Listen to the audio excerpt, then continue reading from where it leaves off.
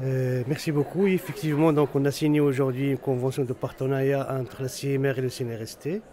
C'est une convention, c'est une première d'abord. Je tiens à féliciter le directeur de la CMR d'avoir pris l'initiative de, venir vers le monde académique à travers le CNRST.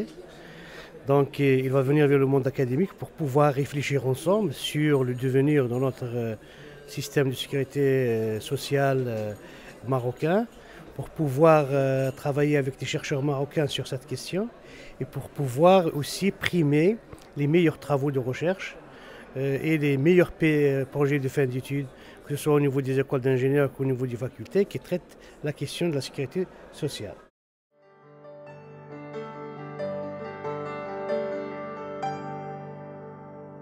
Non, c'est la première au niveau, c'est la première convention qu'on signe avec euh, un organisme de la, donc, de la sécurité sociale, donc qui est la CMR. Mais nous avons déjà signé des conventions avec d'autres organismes mais, euh, euh, qui veulent investir dans le domaine de recherche qui les intéresse. Je fais allusion ici, par exemple, à l'OCP, avec qui on a un projet de recherche de 90 millions de dirhams pour les, sujets de recherche en relation avec le phosphate. Je parle aussi, avec, euh, je parle aussi du, ministère du Transport et de l'Équipement et de, l'eau, de la logistique et de l'eau, avec qui nous avons un premier projet de 10 millions de dirhams sur la sécurité routière. Et là, on est en train de préparer un deuxième appel à projet. Je parle également de l'Agence euh, nationale des plantes médicinales et aromatiques, avec qui on est en train de gérer un projet de recherche de 9 millions de dirhams.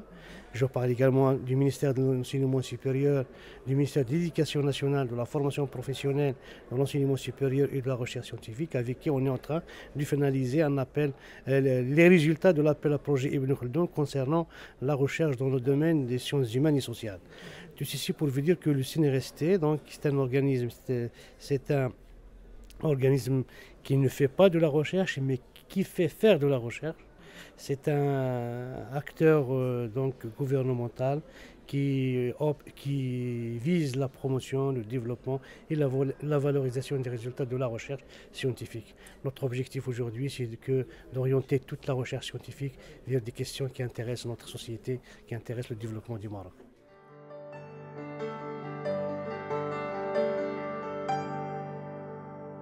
Bon, la recherche scientifique au Maroc, c'est des étapes. Donc, euh, on a commencé euh, par un air, je dirais, avant 2000, où vraiment la recherche était libre, c'était un luxe, c'était une poursuite des actes de recherche des enseignants-chercheurs pour l'évolution de leur carrière scientifique.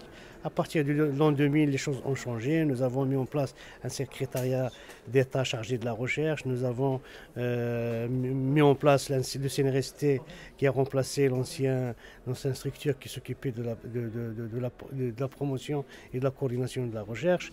Nous avons instauré une, restructuration de la recherche dans les universités. Nous avons aujourd'hui une production scientifique qui est euh, à peu près de 7000 articles indexés dans les revues internationales. Euh, nous avons de très bons chercheurs, nous avons des brevets qui sont déposés. Le problème qu'il y a, c'est qu'il faut qu'on dépasse cette, période. Il faut qu'on arrive quand même à orienter maintenant la recherche vers une recherche appliquée, une recherche développement. Autrement dit, il faut qu'on commence à créer de la richesse à travers les résultats de la recherche.